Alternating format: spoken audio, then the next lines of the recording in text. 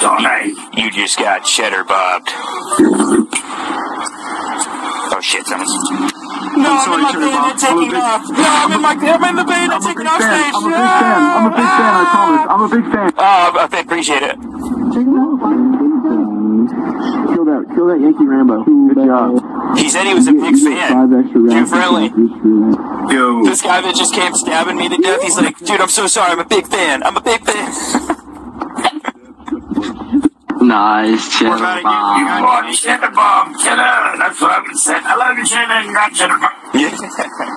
Shit. No, I got I got stuck taking off my bayonet. It, it, it doesn't let you move when you put it on or take it off.